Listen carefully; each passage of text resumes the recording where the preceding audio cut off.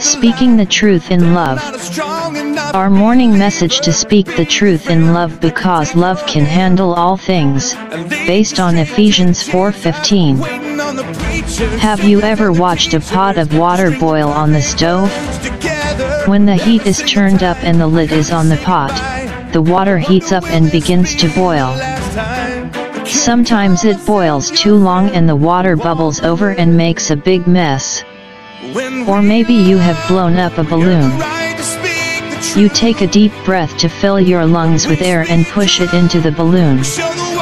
With each breath it grows bigger and bigger, sometimes so big that it pops. Just like a pot boils over, or a balloon fills with too much air, our feelings can build up inside of us so much that it feels like we are going to burst. Maybe we feel sad or afraid. Maybe even embarrassed.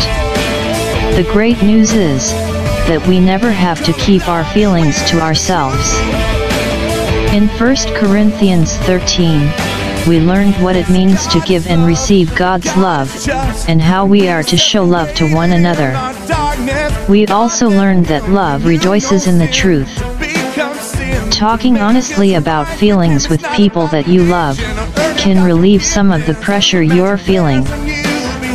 When you talk with your family and people you trust, they can hear you and remind you that you are loved. You can share with God what's on your heart too. Whatever your feelings are, even the big ones, they are important and they matter. You do not need to be afraid to share them, because when you speak the truth in love, love can handle all things.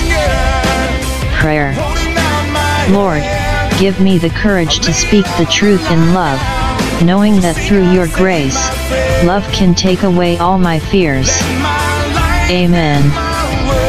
I am truly glad you spent time to view this message. I hope you are blessed and share this with somebody else. Thank you, and have a great day everyone.